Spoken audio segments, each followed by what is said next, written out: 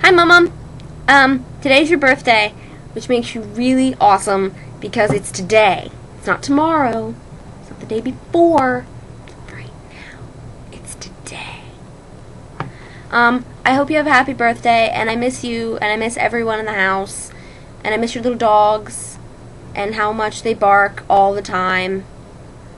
Um, I'm doing, I'm doing good here. I'm on my first week of classes, so it's fairly normal for now, but I'm sure I'll be freaking out eventually. But um, I'm having a good time, and I hope I hope you don't miss me too much because that would suck.